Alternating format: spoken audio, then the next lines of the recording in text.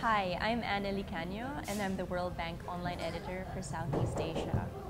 Last week, people sent us questions through Facebook, Twitter, and the World Bank blog asking about jobs and education. With us today at the Thailand Creative and Design Center is Mr. Lars Sondergaard, a World Bank education specialist. Thank you, thank you for joining us, Lars. My pleasure. So we have several interesting questions from around the world. From Brazil, Gustavo asks, what kinds of skills and experiences are considered valuable in today's job market?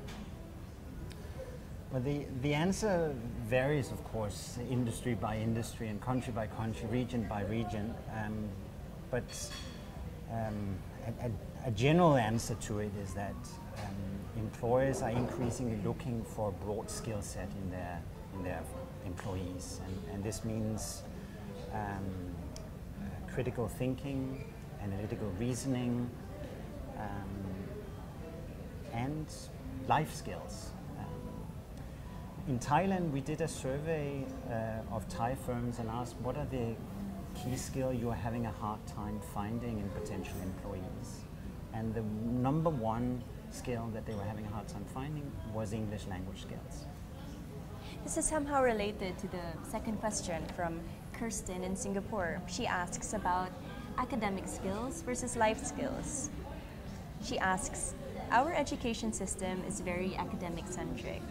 How can we compete with graduates from other countries who may not come from universities that are as strong academically, but who produce graduates with skills that make them stand out? Well, I think the lesson for, for, for everyone in, in, in university is that um, given that firms are looking for, for this broad set of skills, to make sure that that journey through, um, through university, um, you as a student take responsibility for, for building um, more than just academic skills. Um, and so that means making sure that, that outside of the classroom, whether on an internship or on uh, some campus activity, um, uh, volunteering on the sports field uh, with your church, you are, are building some of these uh, life skills that, um, that you can then demonstrate to, to potential employers that, that you have.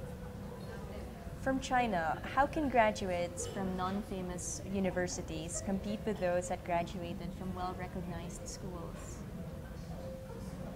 I like this question a lot because it, it, it points out one of the things that, that I think need to change in, in, in university uh, across the world and that is the name on your diploma um, matters a lot more than um, you being able to demonstrate that during that process of acquiring that diploma, you are now mastering a certain skill set.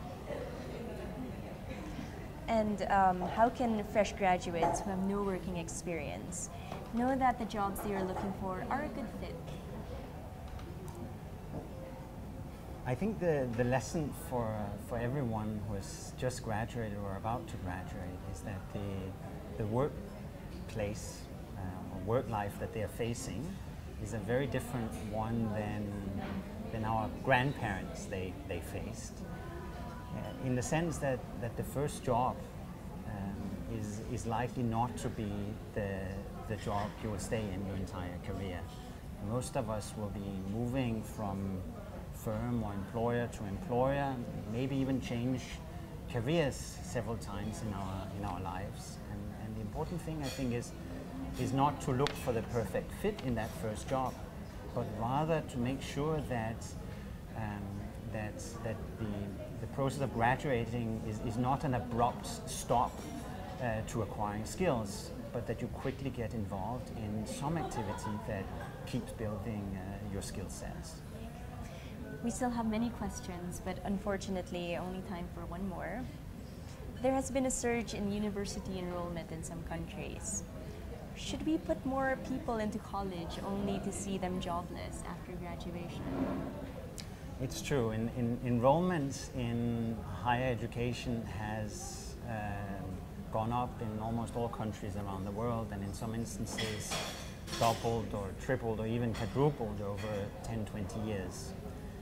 But in most places, it is still the case that completing a university education is a very good investment from the individual's perspective, meaning the likelihoods that you will find a job and the likelihood that you will make um, more than you would have otherwise uh, is still much higher. Um, now, this may not be the case uh, forever as more and more people they, they graduate. Um, th this may change, but, but in, it is still the case that completing university is a, is a very good investment from the individual's perspective. Thank you for your insights, Lars. Lars will answer the rest of your questions through the World Bank blog. Thank you very much for watching World Bank Live.